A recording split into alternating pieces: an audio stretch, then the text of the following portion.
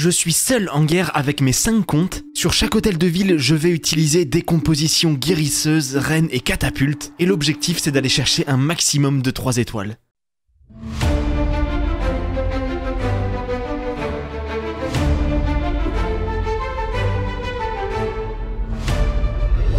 Salut les amis, c'est El Chiki, bienvenue sur cette nouvelle vidéo. Aujourd'hui, je suis en guerre avec mes 5 comptes, les HDV14, l'HDV12, l'HDV11 et l'HDV10. Sur tous ces niveaux d'hôtel de ville, j'ai la possibilité d'utiliser la catapulte d'esprit, c'est ce qu'on va faire dans cette vidéo. Ça faisait beaucoup trop longtemps sur la chaîne que j'avais pas lancé une vidéo où j'étais seul en guerre avec mes comptes. J'ai préparé une stratégie sur chaque hôtel de ville, celle que j'ai le plus hâte de tester, ça va être de faire une attaque HDV12 contre HDV13. Si ça passe, c'est juste incroyable. Je vais commencer en HDV10 avec une petite attaque, voilà, il y a un HDV9 en face, il va falloir que je et que je lui fasse 3 étoiles, de toute façon si je veux gagner la guerre. Là on part sur une petite attaque tranquille, le but c'est juste d'aller chercher le 3 étoiles, je respecte la condition de cette vidéo, j'ai une catapulte, j'ai reine guérisseuse, et à côté, voilà, pour pas que ça soit trop fort, j'ai mis que des bébés dragons. Si ça passe, c'est plutôt sympa. Après, voilà, c'est un HDV9. Je vais mettre la catapulte d'esprit juste ici et en même temps j'étais curieux de voir sur un HDV9, j'avais testé sur un HDV10 ce que ça donnait, c'était déjà un massacre et sur un HDV9 les gars, la catapulte d'esprit ça va être monstrueux, je vais la laisser taffer un petit peu de son côté. De ce côté là je vais envoyer l'arène et les guérisseuses contre une reine niveau 18, je sais pas s'il y a besoin de mettre un sort de rage, ça devrait passer voilà tel quel. Je vais préparer un joli petit funnel les, gars regardez la catapulte, déjà elle a détruit un nombre de remparts abusés et en quasiment un coup elle détruit, ouais en un coup elle détruit toutes les défenses, c'est abusé. Je vais faire mes petites ouvertures sapeurs normaux. Hop, voilà, les ouvertures sont faites. Il y a le CDC Electro-Dragon qui arrive. C'est pas le CDC le plus embêtant. Je mets mon sort de poison. Ensuite, oh, le mortier. Le mortier, il s'est fait démolir. Je vais mettre un sort de rage sur l'arène. Oh, quoique, l'Electro-Dragon, il a fait un petit peu dégâts à l'arène. Regardez la catapulte d'esprit en à peine quelques secondes. Tous les dégâts qu'elle a fait, c'est impressionnant. Je vais commencer à envoyer pas mal de bébés dragons tout autour du village. Là, le but, c'était juste de laisser l'arène et la catapulte atomiser tout le village. Je vais continuer à faire quelques ouvertures. Je vais même mettre un sort de rage si je peux ouvrir jusqu'au centre du village, pourquoi pas. Voilà, il y a quasiment tout qui est ouvert, la catapulte, mais regardez tous les remparts qui ont été détruits. C'est tellement satisfaisant à regarder. Je vais envoyer le reste de mes bébés dragons sur le village. En face, il y a encore le roi ennemi qu'on peut peut-être aller chercher. Il va me rester quasiment tous les sorts. La catapulte, les gars, quel plaisir. Mais quel plaisir. À elle toute seule, c'est quoi? Il y a moyen que si tu lui laisses temps illimité, à elle toute seule, elle peut peut-être perdre un village. Dans la catapulte, j'avais mis quelques cochons qui vont aller tranquillement finir le village. Je vais dépenser le reste de mes troupes et en 1 minute 40, 1 minute 50, on aura été chercher ce jeune 3 étoiles. Hop, je vais à peine avoir le temps de dépenser tous mes sorts. Ok, en tout cas, cette attaque, les gars, elle était assez facile, mais c'était marrant de voir la catapulte au niveau 3 sur un HDV9. Ok, je viens de me prendre une défense, du coup j'ai perdu mon CDC, je vais devoir en redemander un. Sur ce compte, j'ai prévu une attaque en AQH cochon HDV11. Vu la base, vous allez vite comprendre pourquoi je prends des cochons, parce qu'au centre du village, prendre des troupes aériennes, ça serait vraiment pas intéressant, comme au centre, il y a que des anti-aériennes. Je vais mettre hop deux ballons juste ici pour que ça prenne le mortier et que ça fasse le funnel nécessaire. De l'autre côté, j'avais prévu un golem de glace pour enlever les Tesla s'il y en avait, et derrière on met la catapulte au niveau max. Il y a énormément de bâtiments à aller chercher avec cette catapulte. Et ensuite, je vais essayer de pas perdre trop de temps, je vais envoyer l'arène juste ici, avec les guérisseuses hop à côté. J'ai plus de ballons par contre pour le déminage, ça c'est un très mauvais move. Et je vais envoyer le roi ici, euh, avec un petit sorcier pour faire du funnel et faire rentrer l'arène au centre du village. Si je fais une première ouverture sapeur, elle est pas terrible. Elle est pas terrible cette ouverture, on verra bien les, les prochaines ce que ça va donner. Ensuite au niveau sort de rage, je pense que je vais euh, lâcher le premier sort de rage. hein. Il y a deux Arkix qui me focus, ça fait pas mal de dégâts. Le roi il fait un funnel intéressant, en plus il y avait des Tesla,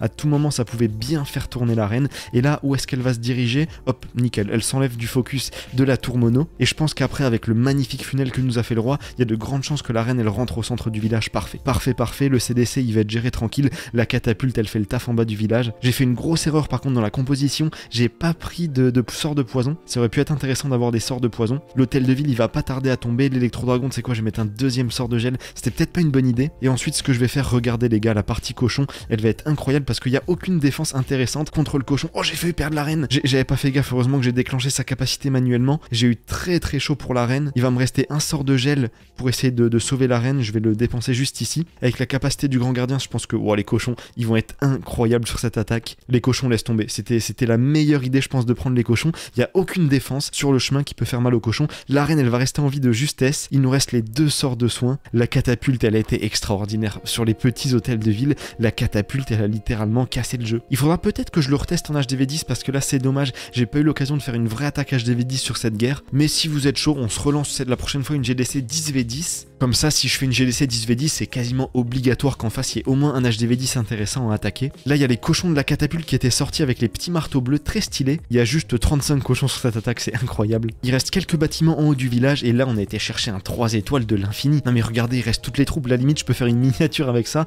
C'est super beau. On a été chercher du coup le deuxième 3 étoiles de cette guerre. Et là, les gars, on va entrer dans le vif du sujet. La prochaine attaque, c'est peut-être l'attaque décisive de cette vidéo. Si je veux en réussir une, c'est bien celle-là. On est sur l'HDV 12, ça va être ultra compliqué. En face, je vais devoir faire un 3 étoiles sur un HDV 13. Mais la base, elle a un petit point faible que je vais exploiter. C'est que si j'arrive à prendre le château de clan avec euh, mes super gobelins, ça peut être très intéressant. À l'opposé du village, à l'opposé de Reine Guérisseuse, il y a une catapulte super intéressante à jouer. On va partir là-dessus et si j'arrive à aller chercher le 3 étoiles, c'est miraculeux. J'ai 5 sorts de rage, du coup, ce que je vais faire, je vais dépenser déjà un super gobelin, on va voir c'est pas piégé nickel. Du coup je vais mettre hop 6 super gobelins, ça va prendre le château de clan sans aucun souci. Parfait, super début d'attaque. Des petits ballons de déminage et on envoie l'arène juste ici avec hop une petite chasseuse, les guérisseuses. Et je vais mettre je pense un premier sort de rage. Niveau dégâts je me suis fait enchaîner assez vite. Je vais faire une ouverture juste ici. Et j'ai encore des super gobelins pour le funnel que je vais mettre juste ici. Le roi je vais essayer de le gérer tout seul avec l'arène. Par contre j'ai perdu une guérisseuse, ça va pas faire plaisir pour la suite de l'attaque. Je vais dépenser le roi ici pour éviter que l'arène elle tourne. Et ensuite on va remettre un sort de rage il faut que l'hôtel de ville il tombe assez vite, que la reine elle rentre au centre du village,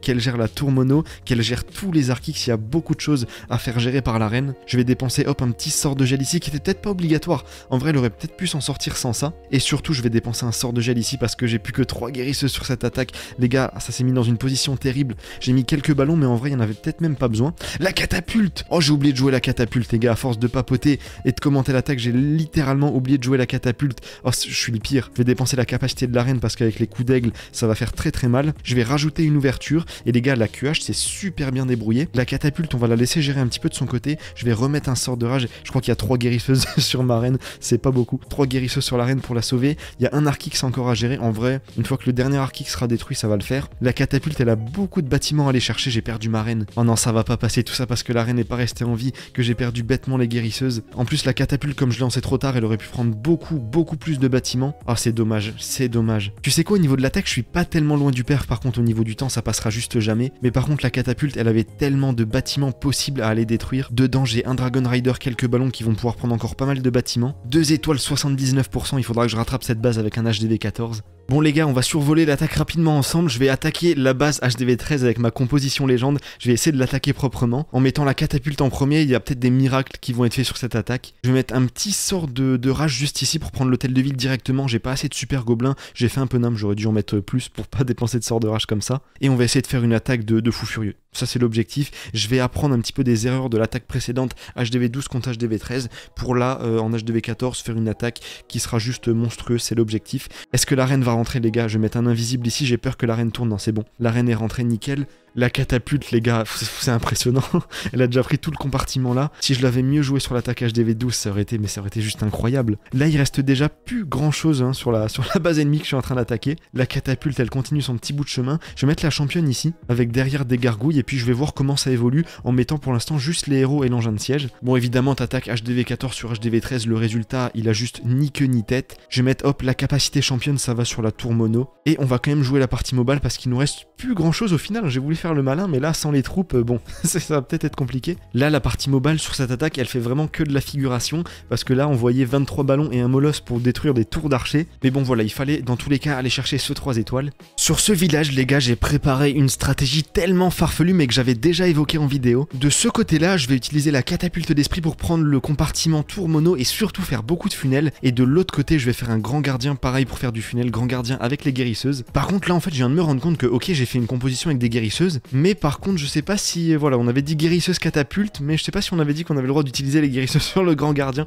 Enfin bref, la stratégie elle est assez cool et euh, ça peut être marrant de l'utiliser. J'espère que, que voilà, ça comptera dans notre petit pacte qu'on avait dit pour le défi de cette vidéo. La catapulte là, elle a, déjà bien démarré. Je m'étais dit qu'elle allait être plus lente que le grand gardien. Au final, avec les Tesla et tout, le grand gardien il est un petit peu ralenti. Moi, ce que je voulais prendre, c'était prendre assez de bâtiments pour que tout rentre au centre du village sur le compartiment catapulte. Par contre, la catapulte de mon côté, elle, enchaîne. Elle enchaîne tellement vite les, les dégâts qu'elle fait. Ici, je vais mettre un petit bébé dragon pour le, pour le funnel. Si en plus il prend une Tesla, ça peut, être, ça peut être intéressant. Et puis les gars, cette attaque, elle démarre plutôt bien. Je pense que je vais envoyer la suite, comme ça le timing catapulte avec la suite de l'attaque sera plutôt cool. Je vais mettre aussi, hop, le golem de glace qui va aller devant. Et on va envoyer toute la partie bouliste. Les gars, c'est parti. Chasseuse, je mettrai un petit peu plus tard. Je vais mettre une seule ouverture sort de saut ici. Il faut absolument que les guérisseuses, elles switchent rapidement de cible. Il y a tout qui va rentrer au centre, les gars. Ça démarre plutôt bien cette attaque. Sort de gel, Je pense que je vais mettre du sort de gel sur l'hôtel de ville. Par contre, non Non, me dis pas qu'il y a tout qui est en train de tourner de ce côté-là. S'il y a tout qui tourne de ce côté-là, je vais peut-être pas pouvoir prendre l'hôtel de ville. L'ouverture là, je sais pas où elle va. Les gars, ça va devenir compliqué.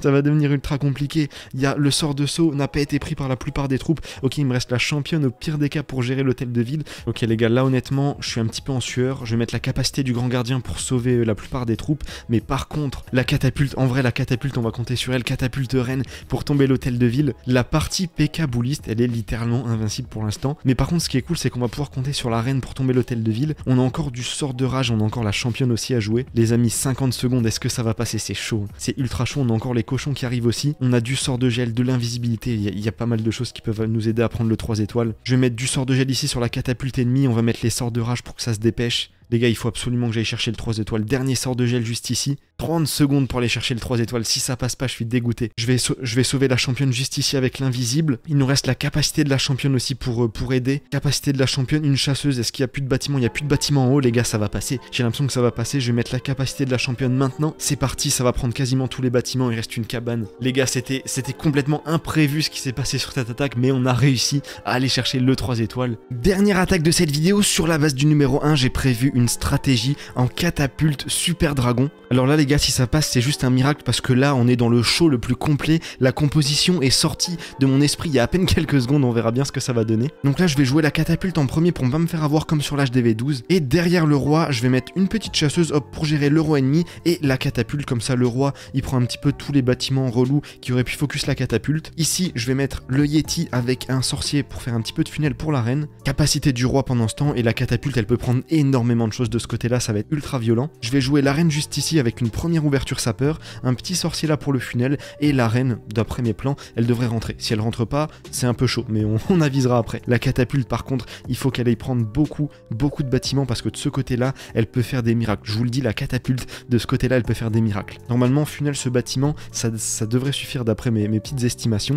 Je vais mettre un petit sort de gel, parce que là, tous les dégâts, ça pique un peu, et l'AQH de ce côté-là, il peut être miraculeux. C'est pour ça que j'aime beaucoup les guerres random, parce que tu vois, la plupart des gens en GDC random pourront pas faire des gros AQH. Par contre, si tu le maîtrises un petit peu, faire un AQH dans ce compartiment-là, c'est juste titanesque parce qu'il y a énormément de bâtiments super intéressants à aller chercher. En plus, j'ai deux spectateurs, les gars. Quand t'as des spectateurs, ça te met une pression. La catapulte, elle continue de faire son petit bout de chemin. Pour la partie super dragon, je vais attendre. De toute façon, elle se déplace très vite. Et en plus, dans la partie super dragon, j'ai la championne à jouer. La reine, les gars, c'est déjà incroyable tous les bâtiments qu'elle a pris. Je vais mettre quelques minions et deux petits ballons aussi pour prendre cette Tesla qui va nous embêter. Il y a même encore deux, il y a même toutes les Tesla ici. Et l'hôtel de ville, j'espère qu'il va tomber parce que là, au fur et à mesure, je me dis euh, comment est-ce que je vais gérer cet hôtel de ville. J'ai envoyé hop mes super dragons juste ici avec le grand gardien et la championne et peut-être que j'aurais besoin d'eux pour prendre l'hôtel de ville. À la base, ce que je m'étais dit, c'est que ça allait être la, catapulte qui allait gérer l'hôtel de ville. Au final, j'ai l'impression que c'est pas trop dans ses projets. J'ai encore la capacité du grand gardien et j'ai quasiment que l'hôtel de ville à aller chercher. Je vais dépenser hop la capacité du grand gardien pour sauver la championne et je vais mettre un sort de rage ici.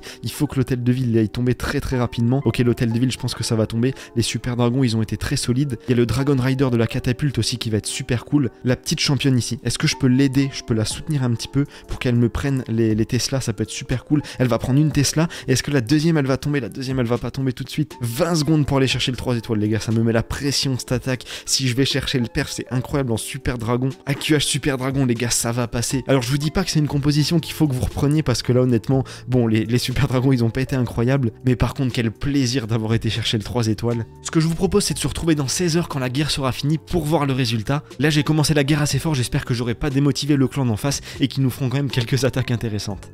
A few moments later. Voilà, on est quelques jours plus tard, je vais vous montrer une défense que j'ai prise, c'est la défense la plus intéressante. Et à côté de ça, je vais aussi vous parler d'un problème que je trouve un petit peu dommage sur les guerres de clans. Donc là, on est parti sur une défense, il est en train d'attaquer mon HDV 12 avec l'HDV 13 du clan d'en face, avec une composition Super Dragon. Je vais pas te mentir que Super Dragon sur un HDV 12 quand t'as HDV 13, il va me ruiner ma base, mais c'était la défense la plus intéressante que j'avais à vous montrer. Et ce que je trouve dommage, en fait, ça fait un petit peu suite, tu vois, à la vidéo des meilleures idées de mise à jour, j'aurais peut-être dû rajouter cette idée, vous étiez très nombreux à me l'avoir suggéré en commentaire, ça serait l'idée que pour les guerres de clans, pour redonner d'intérêt un petit peu aux, bas hôtels de ville, tu vois, aux petits hôtels de ville, c'est qu'en fait, par exemple, là, l'HDV 12, en face, euh, ils, ils ont pas pu le perf sans utiliser un HDV supérieur. Pareil pour mon HDV 11, l'HDV 11 a pas réussi à perf mon HDV 11, et du coup, bah, il y a l'HDV 13 qui a été attaqué mon HDV 11, tu as, tu as compris le principe. Et ce que je trouve dommage, c'est qu'au final, l'attaque des petits hôtels de ville sur les guerres de clans, ils servent à rien, et au final, c'est toujours un duel entre les plus gros hôtels de ville de la guerre. Je sais pas si j'ai réussi à bien me faire comprendre, mais imaginons que là, par exemple, on est dans une guerre de clans 5v5. À chaque fois, vous avez remarqué que les guerres de clans 5v5, ça se joue toujours sur les HDV 14. Et l'idée qui pourrait être intéressant, je trouve, pour les guerres de clans, ça serait de faire des guerres de clans où tu peux pas attaquer des hôtels de ville inférieurs aux tiens. Je suis pas à 100% sûr que ce soit une bonne idée, mais là, je vais vous montrer le résultat de la guerre et vous allez comprendre. Résultat de la guerre 5v5, les amis, j'ai gagné 15 à 10 cette guerre. Mes deux HDV 14 n'ont pas été perf, ils ont fait 75 et 68%. L'HDV 13 du clan d'en face a attaqué mon HDV 12 et mon HDV 11. Et ils ont même pas eu la foi d'attaquer mon HDV 10, du coup la guerre ça s'est soldé par un 15 à 10. C'est peut-être de ma faute sur cette guerre, j'ai attaqué vraiment au tout début, la plupart du temps j'attaque au dernier moment, il reste à peine quelques minutes pour finir les attaques. Et du coup là de leur côté ils ont dû louper les HDV 14 et se dire que c'était complètement foutu, c'était pas la peine de gratter un maximum d'étoiles. Du côté du clan El Chiki, on augmente petit à petit la série de victoires consécutives, ça faisait beaucoup trop longtemps que j'avais pas lancé une GDC 5v5. Dites-moi si vous êtes chaud en commentaire, je vais essayer de relancer dans pas longtemps une GDC 10v10 avec mes comptes. En attendant les amis, j'espère que cette vidéo vous aura plu, si c'est le cas n'hésitez pas à mettre un petit pouce bleu. Et nous on se dit à très bientôt pour une prochaine vidéo, allez, ciao